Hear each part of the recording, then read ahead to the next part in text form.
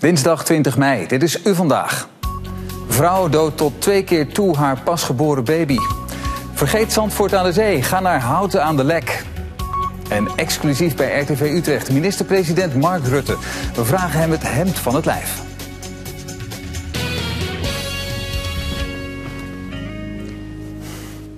Goedenavond. Goedenavond. Een 35-jarige vrouw wordt ervan verdacht dat ze in Amersfoort haar twee pasgeboren baby's heeft gedood. Verslaggever Elske Minema. Het is al meer dan tien jaar geleden, maar na jaren zwijgen besloot de vrouw om zelf met dit gruwelijke verhaal naar de politie te stappen. Straks meer hierover. Dankjewel Elske, tot zo. Maar eerst ander nieuws van vandaag.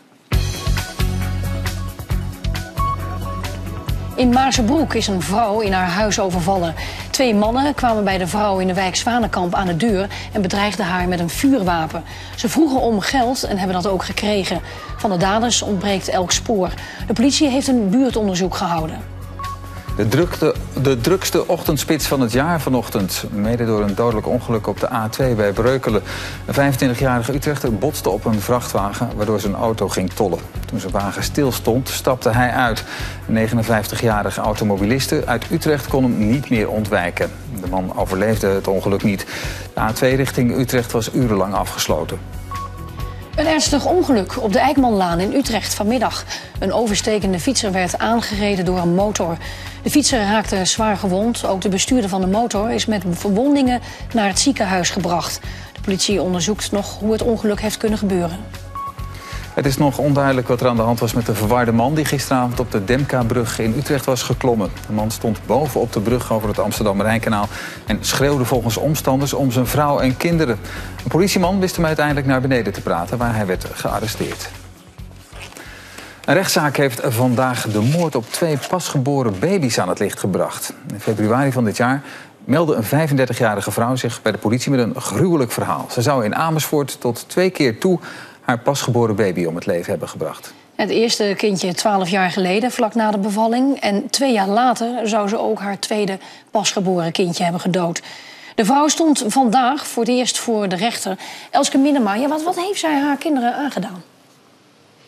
Ja, beide kinderen zijn ter wereld gekomen op de wc. En de moeder heeft de kinderen in het toilet laten liggen en heeft ze vervolgens aan hun lot overgelaten. Later heeft ze haar eerste kind in een doek of een zak gewikkeld en in een beautycase opgeborgen. En dat heeft ze ook gedaan met haar tweede kind, alleen heeft ze die bewaard in een grote koektrommel. Nou, het klinkt te gruwelijk voor woorden. Hoe uniek is deze zaak? Babymoord is zeldzaam, maar het komt wel vaker voor. Ik denk dat we ons allemaal nog de zaak van Sietske H. uit Friesland voor de geest kunnen halen. Zij beviel in alle stilte van vier kinderen... die ze vervolgens bewaarde in koffers op zolder. Dit is Sietske H. De vrouw die tussen 2003 en 2009 haar vier baby's doodde... en hun lichamen bewaarde in koffers op zolder. Een bizar verhaal dat diepe indruk maakt op inwoners van het Friese Nijbeets, waar Sietske H. woonde. Natuurlijk is het heel lang uh, een gesprek geweest, een, een, heftig onderwerp voor het dorp geweest. In eerste instantie veroordeelt de rechter H. tot een gevangenisstraf van 12 jaar. Maar in hoger beroep oordeelt het Hof toch anders. Het Hof vindt het dus in deze zaak beslist de moeite waard te proberen meer te weten te komen over de psyche van mevrouw. Zelfs als zij ook na vandaag mocht blijven volharden in haar weigering mee te werken aan onderzoek. Uit dat onderzoek blijkt dat Sietske H. een aangeboren hersenafwijking heeft, waardoor ze volgens deskundigen verminderd toerekeningsvatbaar is. Als H. iets wegstopt, is het er niet meer, oordeelde een deskundige. Het gerechtshof in Leeuwarden veroordeelt de vrouw tot drie jaar cel en TBS met dwangverpleging. Elske, die vrouw in Friesland was duidelijk niet in orde geestelijk. Uh, wat weten we van de vrouw in Amersfoort? Waarom heeft ze het gedaan? Ja, wisten we dat maar. Daar, daar, wordt op dit moment niks over bekendgemaakt. En ook de advocaat van de vrouw wil er niks over kwijt. Maar weten we eigenlijk wel zeker of dit verhaal niet verzonnen is? Zijn bijvoorbeeld die, die lichaampjes van die babytjes gevonden? Ja, de resten van de kinderen die zijn gevonden. En het Forensisch Instituut die onderzoekt die lichamen nu. En uh, er wordt verder ook natuurlijk uitgebreid uh, onderzoek uh, gedaan naar de vrouw. Dus zowel psychisch als lichamelijk. Hoe gaat deze rechtszaak verder, Elske? De vrouw die zit voorlopig vast in Zwolle. En de inhoudelijke behandeling gaat in september verder. En als het aan de familie ligt, dan gebeurt dat achter gesloten deuren. Maar daar moet de rechter nog over beslissen. Elske Minema, dankjewel. Ja, met dit weer doe je niets liever dan, uh, denk ik althans, lekker op een terrasje zitten. Niet gelukt, hè? Of zelfs uh, lang uit op het strand. Alhoewel dat water, dat is nog wel een beetje koud. Ja, zelfs voor gewaarschuwd. Maar voor de echte liefhebbers is er vandaag een nieuw strand geopend. Langs het kabbelende water van de rivier de Lek. Daar lig je in een oase van rust in het zonnetje. Echt druk is het nog niet op het strand bij Tul en Dwaal. Maar de eerste badgasten hebben het naar hun zin. En dat is ook niet zo gek. Volgens de beheerder waan je je hier aan de kust. Het strand is gewoon groot. Het is gewoon 600 meter uh, mooi zandstrand. Het is heel flauw, ook vergelijkbaar met uh, de zeekust. En uh, er kunnen gewoon heel veel mensen terecht. Jarenlang was het enige strand van een beetje omvang rond de stad Utrecht bij de Maarseveense plassen. De laatste jaren komen er steeds meer stranden en strandjes bij. Denk aan de Harijnse plas bij Vleuten en nu dus ook dit strand aan de Lek. Het is een aantrekkelijke regio. En daarmee nemen de tekorten uh, voor de zwemplaatsen nemen, uh, nemen toe. Dus wij, moeten, uh, wij vinden het ook onze verantwoordelijkheid dat wij in de regio ook steeds meer zwemplassen openstellen voor het publiek. En dan zijn er ook nog stranden waar je niet kunt zwemmen. Zoals Stadstrand Oginal. Dat was twee jaar dicht, maar vanaf deze zomer zit het hier op mooie dagen weer vol. We hebben moeten voldoen aan allerlei procedures en soms duren procedures langer dan je wenst. Maar ja, het is nou helemaal niet anders. En uh, ja, weet je, ik ben al lang blij dat we uiteindelijk die, uh, de, uh, de bestemming echt definitief gewijzigd is. En dat we nu ook gewoon definitief hier kunnen blijven. Het strand in Ogenal gaat over drie weken pas open. Maar een frisse duik nemen in de lek kan nu al. Wie weet dat er vanmiddag al enkele zijn die het aandurven om de eerste duik te nemen. Maar dat zal ik niet zijn.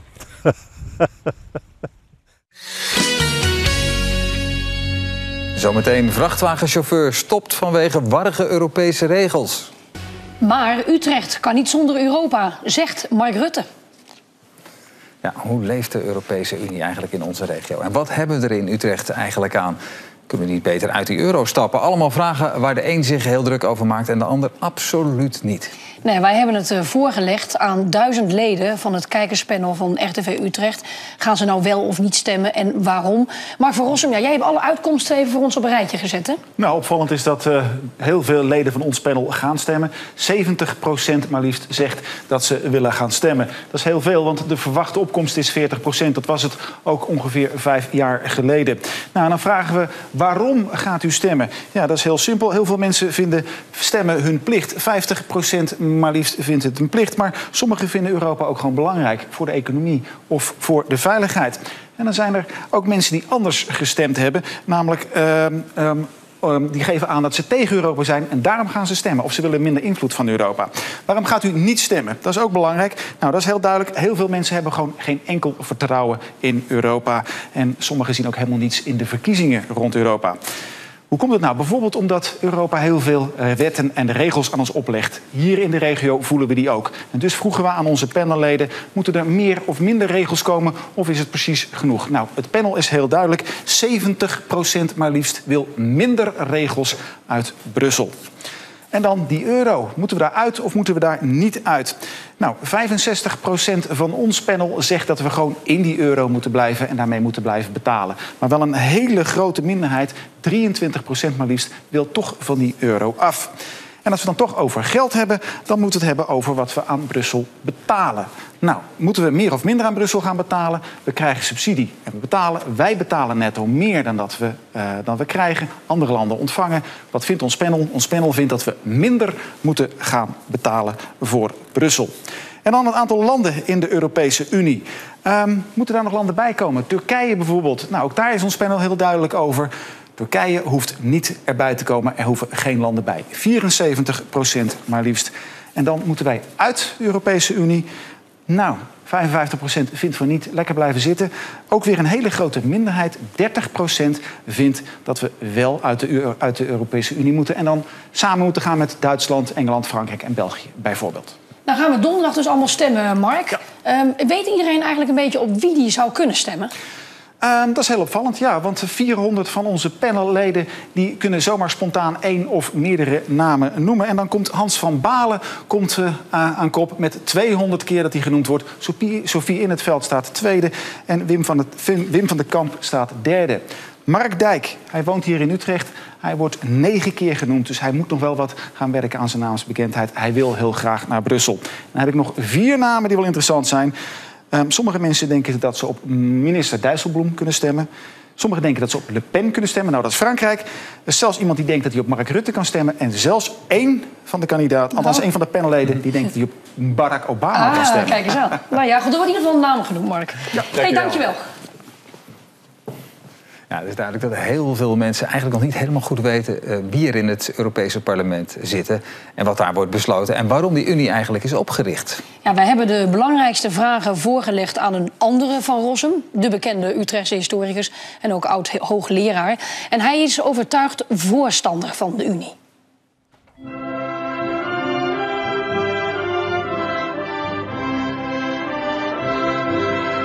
De Europese Unie. Nederland bemoeit zich er sinds de oprichting intensief mee. En hoewel we inmiddels op zijn gegaan in die enorme EU, kunnen we gewoon onszelf blijven, denkt de Utrechtse geschiedkundige en euro-optimist Maarten van Rossum. Onze identiteit wordt helemaal niet bedreigd door de Europese Unie. We kunnen heel gewoon Nederlands blijven en oranje hoedjes blijven dragen.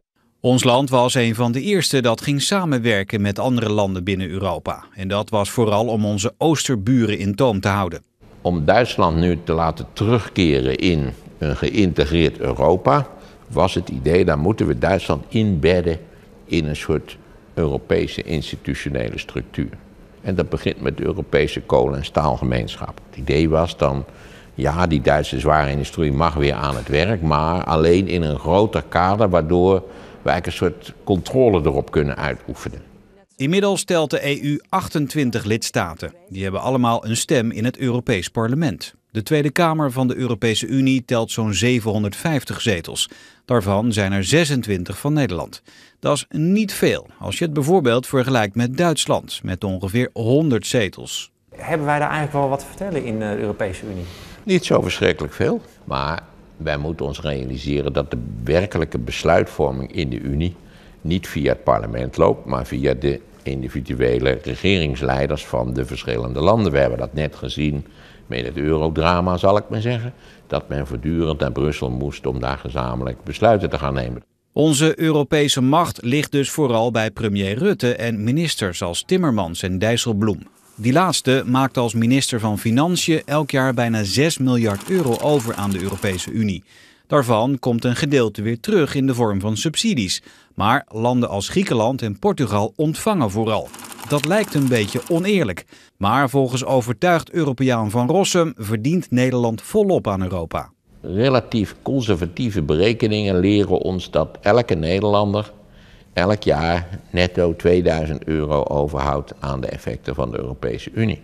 We zijn met z'n bijna 17 miljoen, dus hè, zelfs wij met z'n tweeën hebben strijken toch al elk jaar 4000 euro op. Vroeger had elk land zijn eigen munt. Maar sinds 2002 hebben de meeste lidstaten de euro. Dat zou ons veel economische groei opleveren. Maar in landen waar ze de munt niet hebben, Denemarken en Zweden bijvoorbeeld, gaat het ook heel goed. Kunnen we dus niet gewoon terug naar onze oude vertrouwde gulden? Daarbij wordt één ding vrij makkelijk vergeten. Namelijk dat die Nederlandse gulden eigenlijk al heel lang helemaal geen zelfstandige munt meer was. We deden wel net alsof dat zo was, maar hij was het helemaal niet. Sinds de vroege jaren 80 was de gulden vastgekoppeld aan de D-mark. Daar hebben we de Duitsers weer. Dat we daarvan af kunnen is een volstrekte infantiele illusie. In tegenstelling tot Maarten van Rossum hebben veel mensen helemaal niks met de EU. Volgens sommige partijen moeten we er zelfs uitstappen. En bij de Europese verkiezingen in 2009 bracht nog geen 40% van de Nederlanders hun stem uit. Heeft de EU dan nog wel bestaansrecht? Ja, en de integratie zal nog verder zijn voortgeschreden. Ja, want waar gaan we heen? Nou, echt een echte federale staat zoals de Verenigde Staten zijn, dat zie ik voorlopig niet gebeuren. Maar ik denk dus dat met name op macro-economisch gebied eh, de integratie dan weer verder zal zijn voortgeschreden. Omdat we nu gezien hebben dat als we budgetair uit de pas lopen en eh, gekke dingen doen, neem de Grieken bijvoorbeeld, dat dat enorme consequenties heeft voor de hele eurozone. De Europese Unie, of we het nu willen of niet, we zitten er middenin en we zijn er inmiddels afhankelijk van. En wat Maarten van Rossum betreft, kan dat best met een oranje hoedje op.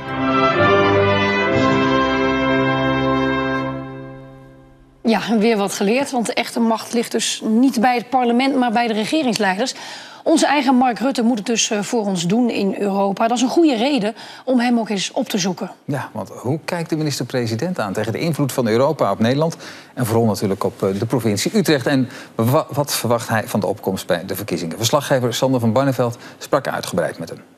Het thema gelijk maar even met de deur in huis vallen is natuurlijk die opkomst. Hè. Niet, niet voor niks dat we er nu lang over gaan praten. Want u wil natuurlijk dat, dat die, die opkomst een beetje, een beetje beter wordt. Ja, ik hoop dat we het allemaal willen. Uh, die opkomst nu, als je kijkt naar de ramingen, de peilingen, dan is die voor heel Nederland is die nog behoorlijk laag. En het is toch democratie, we mogen stemmen. En het Europees Parlement, uh, het gaat over zaken die Nederland raken, die uh, kunnen bijdragen aan banengroei in Nederland. We hebben het ook in de afgelopen jaren gezien dat er belangrijke stemmingen waren. Over bijvoorbeeld de vraag of landen zich niet moeten houden aan de begrotingsafspraken.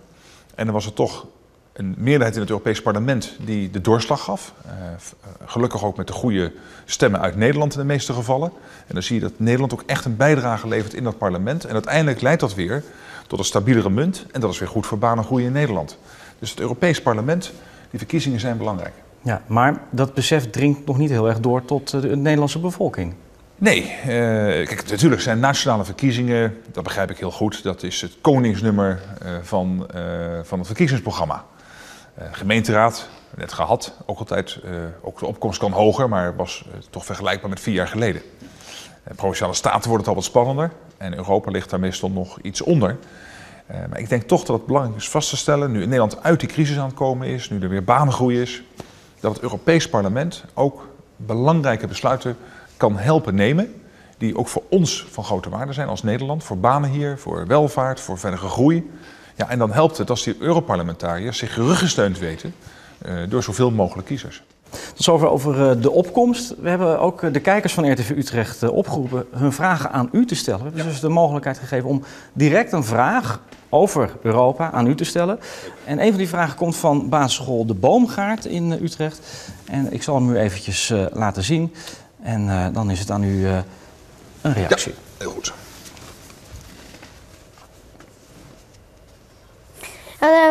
Ik ben Bram van Schalkwijk en dit is mijn vraag.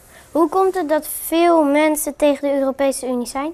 Nou, uh, Bram, uh, dat komt uh, omdat ehm, veel mensen het gevoel hebben dat Brussel over allerlei zaken gaat waar ze eigenlijk te weinig grip op hebben. Ze hebben het gevoel dat Brussel zich met steeds meer dingen bemoeit.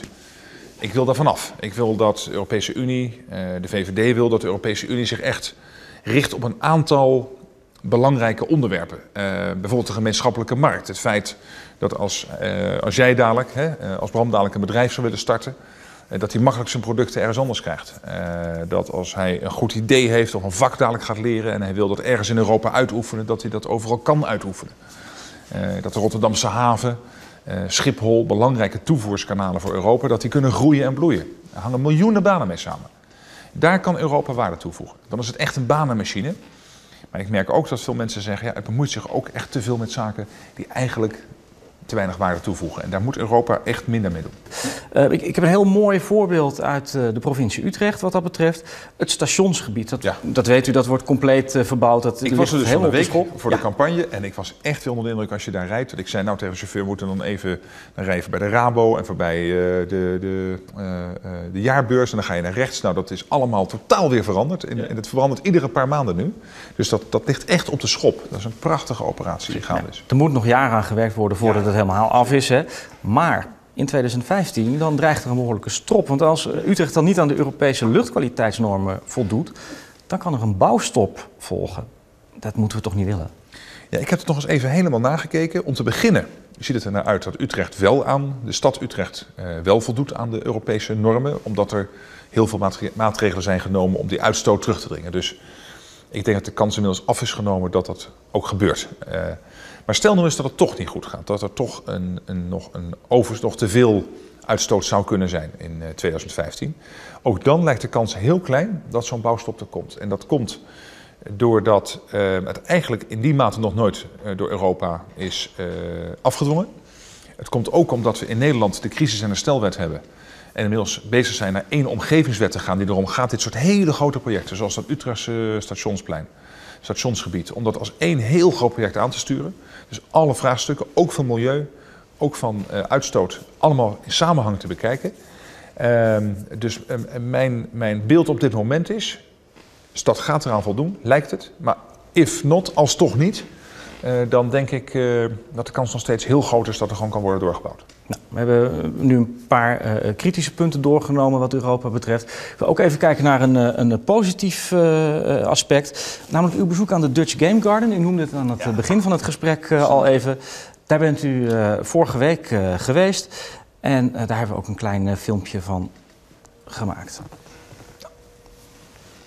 Gaaf. Dus nu heeft hij er water gemaakt. Dus het is een oh, het is, het is kapot gemaakt. Het is water. Ja, ja. ja een soort krap is het. Heel het is niet voor niets dat de Dutch Game Garden in Utrecht premier Rutte op bezoek krijgt. De veelal jonge gamemakers zijn een van de nieuwe exportproducten van Nederland. Utrecht is hier van oudsher echt het centrum van.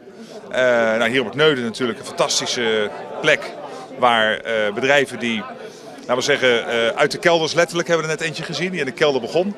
En zegt, nou we gaan uitbreiden, hier kan uitbreiden. En ook de kennis aangereikt krijgt van ja, hoe moet je nou aan geld komen? Hoe moet je uh, ja, omgaan met allerlei praktische dingen zoals uh, arbeidsvoorwaarden en zo. Ja, dat weten mensen vaak allemaal niet, hoeft ook allemaal niet. Maar dan heb je hier de, ja, de, de microcosmos, de, de, de, de sfeer ook waarin dat allemaal gebeurt. Ja, die, die game-industrie, u, u zegt dat ook in dat, uh, dat filmpje, dat is, dat is nou een, een, een industrie die echt van Europa heeft geprofiteerd. Ja, ja het is een ongelooflijk succes. Nederland is daar zo'n beetje nummer één in. We zijn echt toonaangevend. En dan denken veel mensen natuurlijk nog bij games aan uh, de echte spelletjes voor plezier. Dat is ook vaak zo. Dit spel hier, Reus, door vier studenten in elkaar gesleuteld. Nu 16 man in dienst, bijna 2 miljoen omzet. Begonnen in de kelders van de universiteit. Nu in dat mooie pand aan het Neuden uh, van, uh, van Dutch Game Garden. Daar, ja, daar, daar, uh, dat is zo'n voorbeeld. Maar er zijn inmiddels ook steeds meer spellen die bedoeld zijn om bijvoorbeeld in de gezondheidszorg te helpen. Om daar echt serieuze problemen op te ja, lossen. De serious games noemen ze De, de zogenaamde serious games. Ja. En ik had in 2011 een handelsmissie naar Engeland met voornamelijk bedrijven uit deze sector. En dan zie je ook in Engeland dat ze echt in oor staan, echt mond open valt als ze zien wat Nederland allemaal doet. Ja, en op, op welke manier uh, profiteren zij dan van Europa? Is dat puur geld? Centen? Uiteindelijk wel, vaak ook dat ze besparen.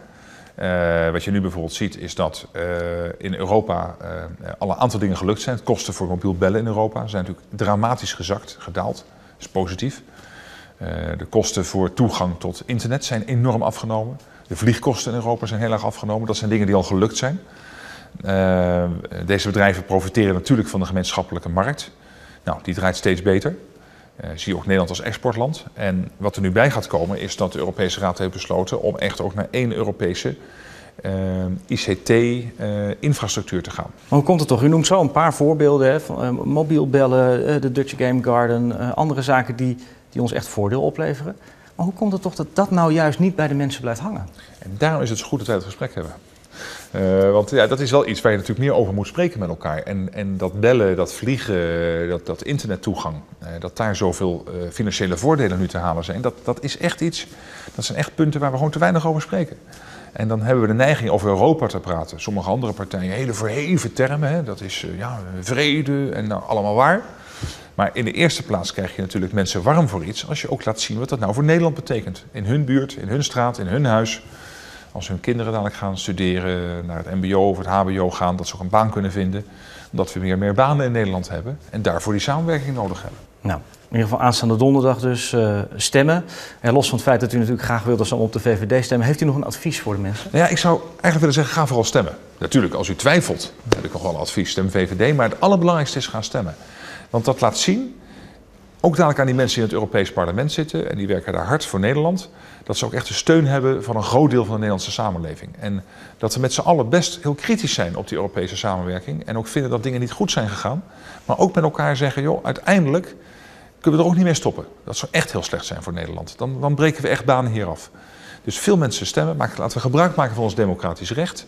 En echt een, een duw in de rug geven, steun in de rug geven aan al die toekomstige Europees parlementariërs uit Nederland. Dank u wel, meneer Rutte. Wederzijds. Ja, en het hele interview met eh, premier Rutte, met uh, daarin ook nog meer kijkersvragen, vindt u op de website rtvutrecht.nl. Ja, nou, leuk duwtje in de rug voor de parlementariërs in ieder geval. Dat doen wij met onze rubriek Brieven aan Brussel. Met de Europese parlementsverkiezingen voor de boeg gaan wij langs bij Utrechters die in hun dagelijks leven te maken hebben met Europees beleid. Hun boodschap aan Brussel bezorgen wij bij het Europees Parlement. Vandaag rijden we mee met touringcarchauffeur René Muileman. Vroeger zat hij op de vrachtwagen, maar nu brengt hij mensen van A naar B. Beste Brussel. Beste Brussel? Beste Brussel. Beste Brussel. Beste Brussel.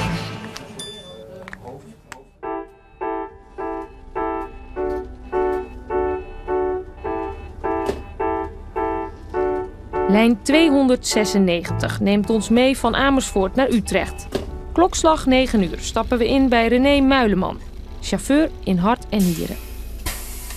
We gaan uh, naar Utrecht, naar het uh, medisch centrum in Utrecht. Onze eerste halte die, uh, bevindt zich bij het Wilhelmina Kinderziekenhuis. En de eindhalte is provinciehuis in Utrecht.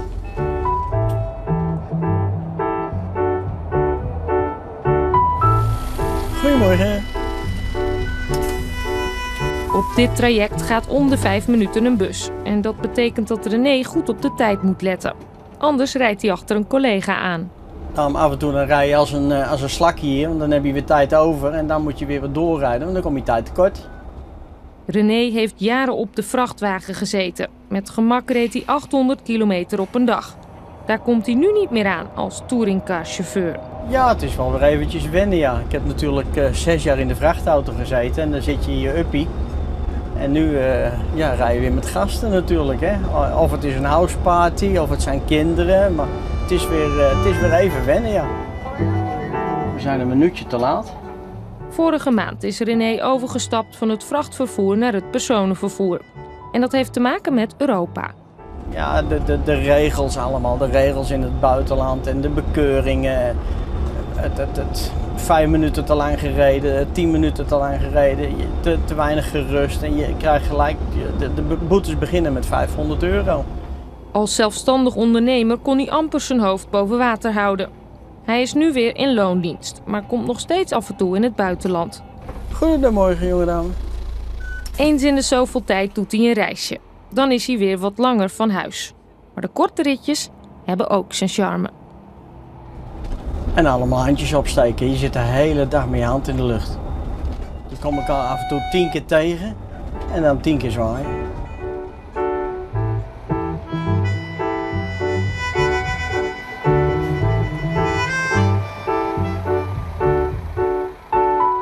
Beste Brussel, mijn naam is René Muileman, internationaal touringcarchauffeur en daarvoor jarenlang trucker.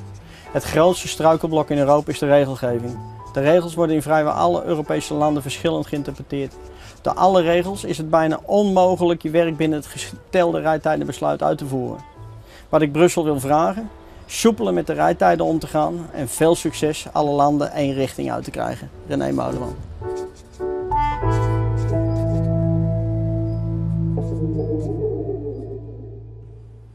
Nou, morgen dan is het zover. Dan brengen we al die brieven die we de afgelopen week hebben verzameld naar het Europees Parlement. En dan ziet u ook hoe ze daar in ontvangst worden genomen.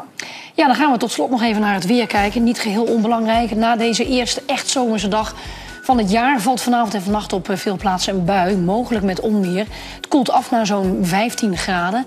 Morgen af en toe zon en op de meeste plaatsen droog. En het wordt 25 tot 28 graden. Voelt trouwens ook weer wat broeierig aan. En de dagen daarna af en toe een bui, maar ook geregeld de zon. De middagtemperatuur ligt dan zo rond de 20 graden. En daarmee zijn wij er doorheen. U vandaag is er morgen weer. Kijk ondertussen op de website of de app voor het laatste nieuws uit de regio. En dat was het, hè? Een fijne avond, zou ik zeggen. Dag. Dag.